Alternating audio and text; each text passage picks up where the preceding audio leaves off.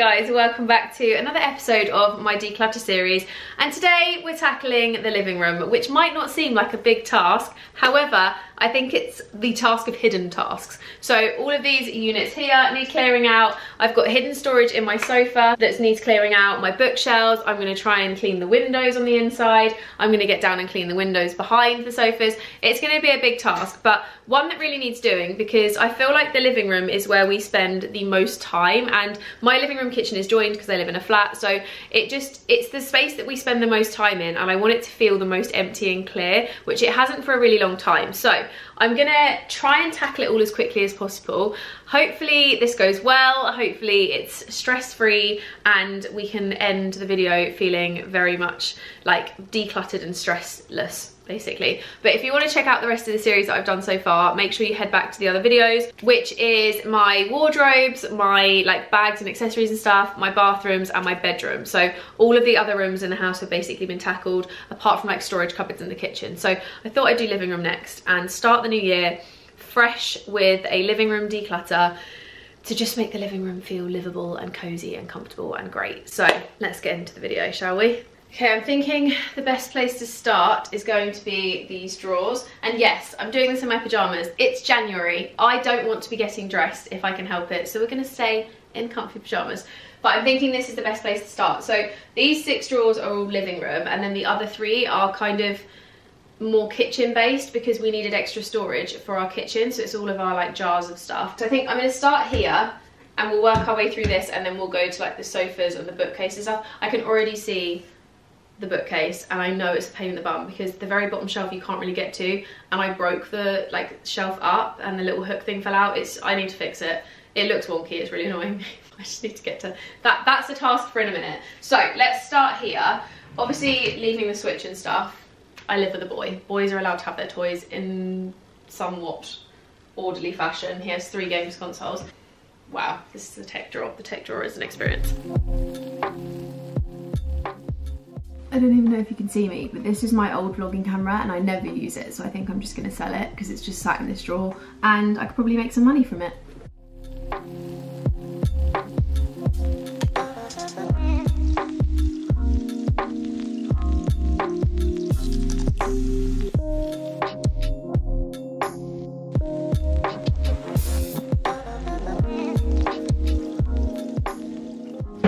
Definitely become my like stuff everything in and just hope for the best drawers, which is making it really difficult to organise. But I'm trying to put it back to how it was. So I got the IKEA organiser things in here and I tried to make it so it was like camera stuff in one, so like tripods, that kind of neck of the woods, like tripods, memory cards, batteries, etc. Then the next one was like my disposable cameras, my little photo printer and that kind of thing. So all of the actual tech, so like my GoPro and whatever. I'm gonna try and put loose cables into here and I'm gonna try and minimize them down because I don't think I need as many cables as I've got. Like a lot of these cables are the same thing. They're all either like the universal, this one not so much, but a lot of them are like the universal cable or an iPhone cable and I don't need that many. So I'm gonna try and minimize them down and not have too many of like the same thing because then it just makes it way easier for me when I'm going through and trying to find stuff to know that I don't just have like 7,000 cables because currently I do. I need to go through them because I don't even know if anything's on them but this is all memory cards. So I've got four in the slot and then I've got four just hanging around but I keep them in this and this is what I used to travel with when I used to take all of my memory cards everywhere. Ooh, I've got a gift card here. Handy. I swear there is pens everywhere. I'm finding so many pens. But I'm trying to categorise things to make this easier for myself in a minute and just work out what's where.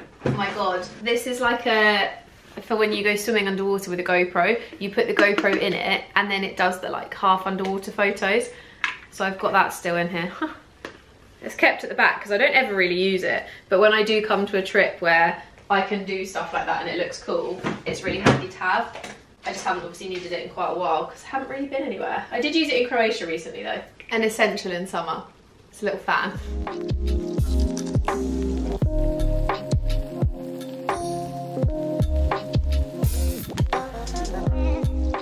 Drawer number one is organised.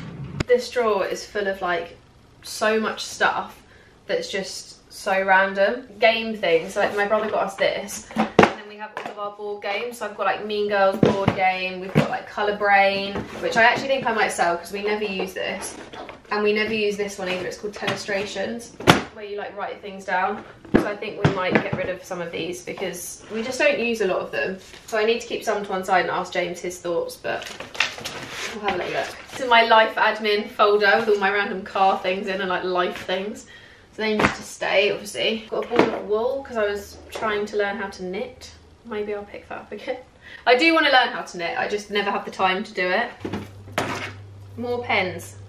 Assuming this is another time that I decided I wanted to start knitting. Okay, I know the bottom drawer also has games, so I'm thinking maybe I try and do both at once.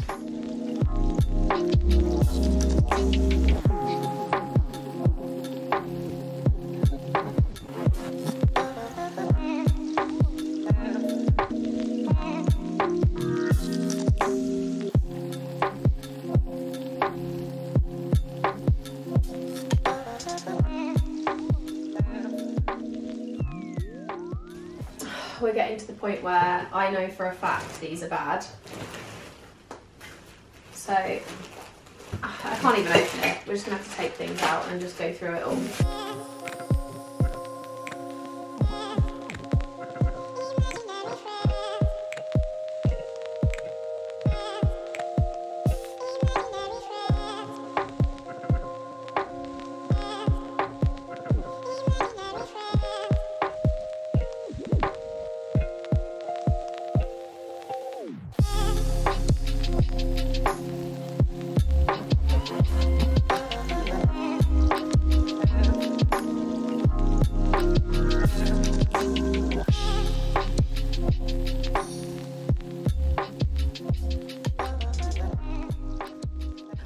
Call it a day on sorting the living room for now because I've got quite a bit of work that I need to get done but I thought at least the chest of drawers are tackled. I haven't done the kitchen ones because we're gonna do that as part of the kitchen video because that technically is kitchen stuff. Um, same with the bottom drawer that was like random, it's my boyfriend's drawer so it's like random kitchen things of his and his switch and stuff but I'm impressed and I'm glad that I did it because those drawers now feel a lot more organised and looking at them I don't feel like that sense of dread if I open them like it's I know if I open them it'll be tidy and organised and fine. So impressed with those and then I just need to tackle this which to be honest doesn't need much doing to it. It's just the bottom shelf needs sorting. And I need to fix the shelf and then I need to sort under the sofa and clean the windows and stuff. But that is all something I can definitely do over this weekend. So I will be back in a couple of days. Hello gang, it's a little while later. I think it's been maybe two weeks but it's been a little while because life just got so busy for a little period of time but Today we're back and we're going to be doing some bits and I cannot wait because the drawers have stayed really tidy and seeing those as perfect and beautiful and clean and tidy and organised as they are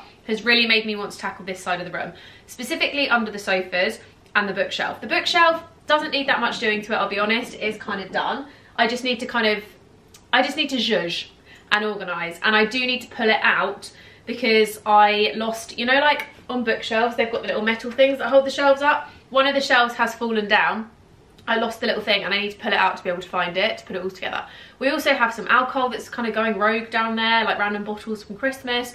So I just want to sort it out, sort out under the sofas with the random home decor and things, put some bits on Facebook Marketplace, and just really clear out, get it sorted. I'm loving doing this series. This series is motivating me more than anything you could imagine.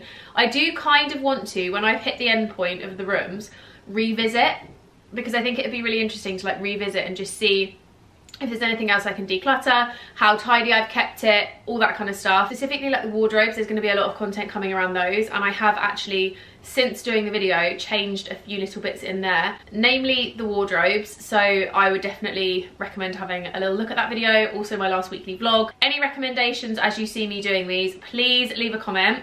I would love ideas because I think sometimes when you watch these, I do this too, but you can see someone do things a certain way and be like, oh my god, that would be so much better for that space. So let me know because I love ideas and I love inspiration from other people, but let's get tackling. We've got a lot to do. Okay, we're gonna start at the top and to be honest, I'm just gonna give them a bit of a wipe down as well because I think it'd be nice to make them just look all clean and fresh while we're doing this.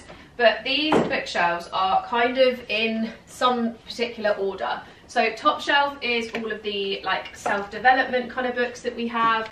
So we've got things like the magic, we've got things like a monk, manifest, that kind of thing is up the top. This second shelf used to have, I'm not entirely sure what, but some kind of decor on it. I need to find some decor that can go back onto it because at the moment it's just got James's vintage basketball, which is great, but I feel like we can do better than just having that on here. So I'm going to try and style some other bits alongside that. Boys live in our houses and we need to make sure that they have their things sometimes. I'm a firm believer in like collaborating on a space. Obviously keeping it nice and keeping it like beautiful but there's certain things that I think he really wants around so I want to make sure that we keep them in the flat. But yeah that shelf needs some kind of decor on it. Then this shelf down below it I apologize in advance if you can hear that banging. My downstairs neighbor is doing something I don't entirely know what but he's doing some kind of building. He does it all the time. It's really annoying. But this next shelf here is our novels. So this is all just like random books mainly mine to be honest that just live on this shelf, obviously all colour coded, which is why there isn't really any black spined books, which I will explain in a minute. Then when you get down another shelf, you've got a few little books here with two bookends that I absolutely adore from Maison de Monde. Maison de Monde don't have a UK shop anymore, which is really sad because I absolutely love what they sell. And I did used to buy quite a few home bits from there, but you can find beautiful bookends everywhere now, to be honest. There's so many gorgeous ones, but I just love these because it's a little moon and a sun. And then the bottom two, we've got James's Game of Thrones and Harry Potter, and the very bottom one has like random other bits. So we're gonna pull the bookshelf out so I can get to the bottom and try and sort down there.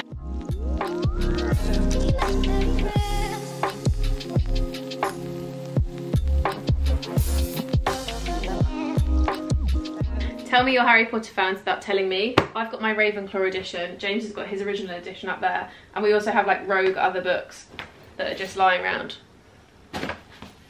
We have so many copies of Harry Potter, it's ridiculous.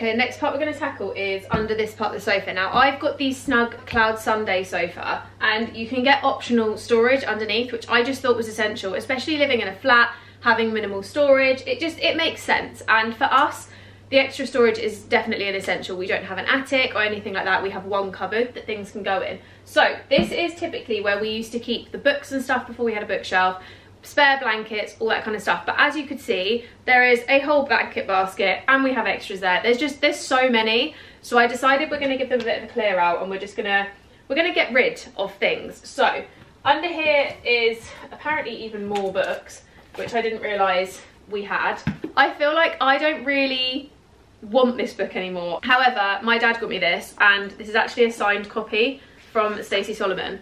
Um, so he met her and she signed it for me and I think that's quite a cute thing to have. So I think I'm going to keep it for that reason. I have to say, I've never really gone through it or looked at it, so I might have a little flick through. I have two spare copies of The Secret, because apparently one copy is not enough, so I've got three. So those I think I'm going to be selling, or, you know, putting on Marketplace or something. A one line a day. This is from 2020, so started on 2021, the 1st of January, and then it obviously just goes down through different things. Highlight of today, Nando's. I don't know if I'll keep this, however, I do know that in this, this is so sad of me to admit, in this one line a day book, which I kind of want to do it again, but I know there's some really bad memories in here and some really good ones.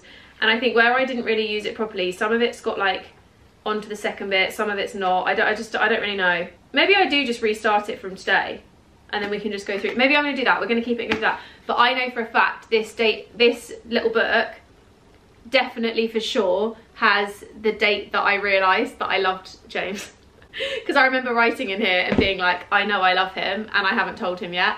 And then it's got the date that we said I love you and stuff for the first time. So that is kind of a special one for that reason. This needs to go back in the Harry Potter Ravenclaw bit. And then we have a cocktail book. So we have many, many, many things that need to be taken out of here. This had these in. So we did plan to vacuum pack, but it didn't really fit. But if I'm honest, I'm going to go through because I don't think a lot of these we actually need to keep. The black and white one I think we'll keep because that sometimes goes on the bed. But I've got like big fleecy throws that I know that we don't need anymore, so I might just give them a wash and sell them on. We've got cushion covers in here that have been on the sofa in times past. These, to be fair, I am going to keep because I do switch out the cushion covers every now and then, especially as we get into summer. I take off the big fluffy ones. They're from the White Company, by the way. So just to give a lowdown on the cushions, because I know I'll be asked.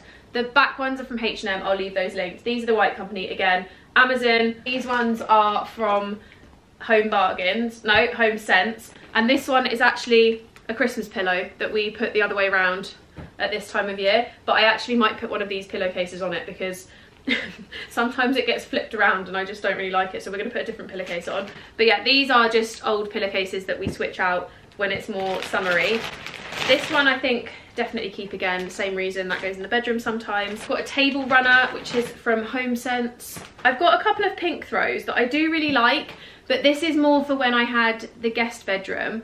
Like I had like a sofa bed that I had in my office which is also the guest bedroom and I do love them. And I do think when we move into a new property and we have that as more of a bedroom again as well as just being an office then I'll use them but I don't know whether to keep them for that reason because by that time I might decide I don't want them anymore and I think at the moment I'd rather have the space than have all the extra throws so I think they're gonna go and then we've got a white cable knit throw which I actually have like three that look very similar so I think we'll get rid of those and then these can go back under. Although I'm going to get rid of this from under here because I just don't need it. So I'm going to pop these all back under and then I'm going to have a little look through my blanket basket and see if any of those can go under here too because I just I don't really want the blanket basket as a like full overflowing feature in the room.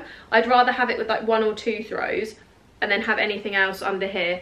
But it is handy to have this little storage thing because I don't I don't love changing out the decor per se, but I definitely think when it comes to like seasonal changes like having big chunky throws and stuff it's good to be able to switch them out. The black throws also do come in handy because sometimes we mix and match the sofa a little bit and we put black throws on the sofa and black cushions which I do have but they're just the covers are I don't actually know where the covers are. They're somewhere else. This blanket basket before I'm asked as well is from Ikea. So we've got the heated blanket in here, a black throw, which I that can definitely go because it just, I don't really like the texture of it very much. We've got a fluffy cushion. Could that live on the sofa? Or is that going to be too many things on the sofa? And then I've got this one, which is actually a Mickey Mouse, like boho-y vibe. So I'm going to keep in this basket just two throws so we're going to have this brown one, which is nice and aesthetic. It matches the room, so I think we'll leave that in here. And then we're going to have the heated one because that get you, gets used all the time. This is like my favourite thing ever, especially in the current climate. It's so handy to have a heated blanket because it uses way less electricity than obviously turning the heating on and I just love snuggling up under it to read a book.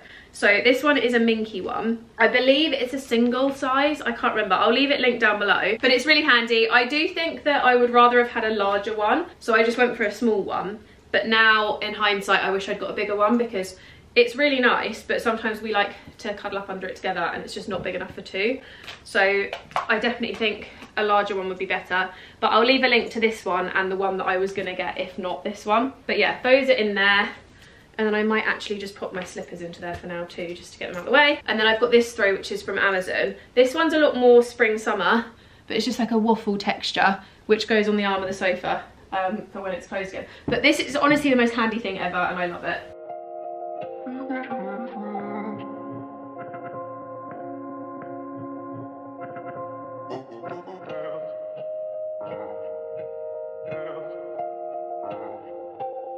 Okay, last but not least, we have this section. So I'm just to pull these cushions up again because it's just so much easier to open. Otherwise it rebounds back and it's hit me on the head before. So this section is a bit larger and it's similar vibes. So this one's just got loads, again, of really random stuff under it, but more so like home decor pieces. So I'm hoping that under here I can find some bits that maybe we can style up there um, I also want to see if there's anything we can get rid of, anything we can keep where it can go somewhere else. I got this from Costco ages ago and I think I might just give it a little scrub and just donate it to a charity shop or something because I just don't, I don't like it anymore. Tell me why.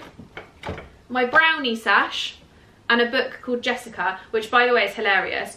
Um, this is about, about a little girl who has an imaginary friend called Jessica who's really naughty and my mum thought it was hilarious at a school fair when I was younger so she bought it for me.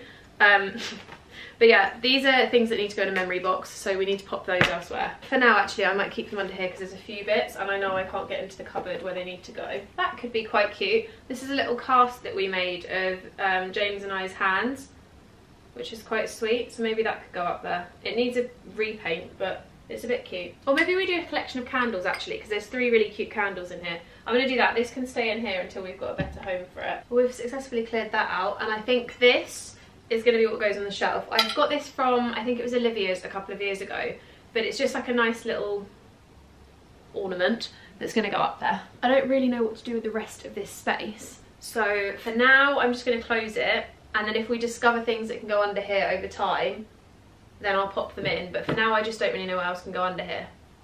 James might think of something that he thinks would be ideal. Um, I did think maybe our board games, but they're all in the cupboards over there. So I think we're going to have to re reassess. Have we got too much storage? Is that a thing? To be fair, I could put the photo on, but I, no, right, we're not rearranging. We don't need to. Things have got homes. We can find something else to go under there in time.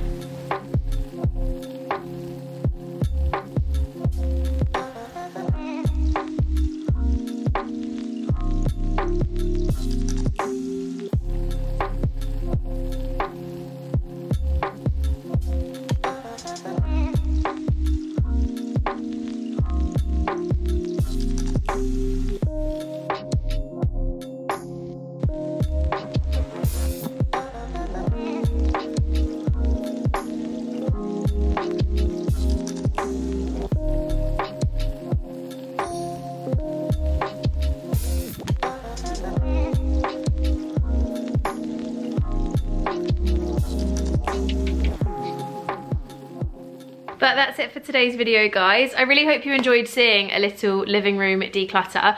Obviously, we're keeping it realistic over here. These things aren't always done in a day. It took me a little while, but I'm really happy with how our living room looks. I think everything is put away where it needs to be, and I'm really happy that I've managed to free up the storage space under the sofa to try and find something else that can go there. Or, you know, when we rejig other parts of the house, maybe that space could be utilized better.